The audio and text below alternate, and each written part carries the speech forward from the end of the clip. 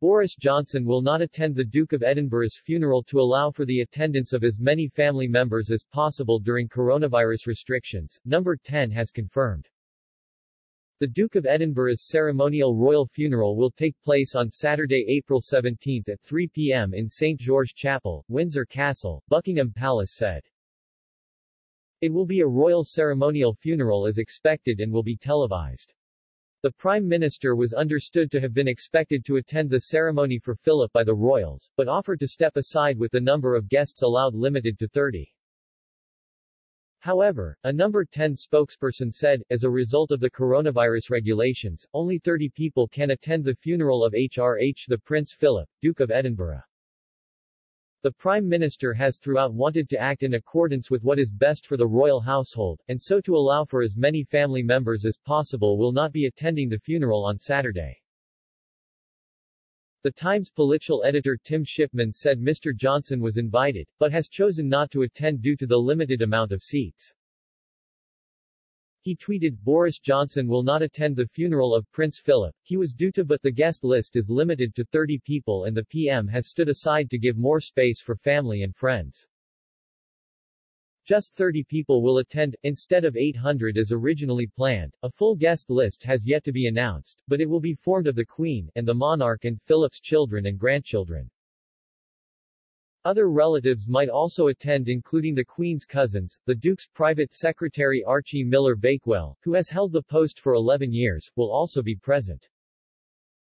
It was also reported earlier today that Prince Harry will fly from the U.S. for the funeral, but pregnant Meghan Markle will stay behind after being given advice from a doctor. Speaking from his Gloucestershire home this evening, Highgrove, Prince Charles also issued an emotional tribute to his dear papa. He said, I particularly wanted to say that my father, for I suppose the last 70 years, has given the most remarkable, devoted service to the Queen, to my family and to the country, but also to the whole of the Commonwealth. As you can imagine, my family and I miss my father enormously. He was a much loved and appreciated figure and apart from anything else, I can imagine, he would be so deeply touched by the number of other people here and elsewhere around the world and the Commonwealth, who also I think, share our loss and our sorrow. My dear Papa was a very special person who I think above all else would have been amazed by the reaction and the touching things that have been said about him and from that point of view we are, my family, deeply grateful for all that. It will sustain us in this particular loss and at this particularly sad time. Thank you. While Charles spoke for the family, his siblings visited the Queen, with the Duke of York and Princess Royal spotted at Windsor.